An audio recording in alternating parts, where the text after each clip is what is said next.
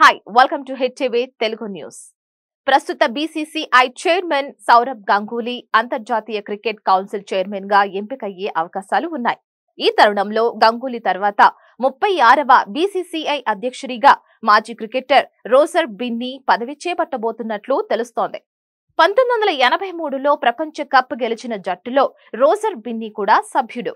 ఆయన ప్రస్తుతం కర్ణాటక క్రికెట్ అసోసియేషన్లో ఆఫీస్ బేరర్గా బాధ్యతలు నిర్వహిస్తున్నాడు. ఇక గతంలో సెలక్షన్ కమిటీలో సభ్యుడిగా కూడా పనిచేసిన అనుభవం బిన్నీకి ఉంది.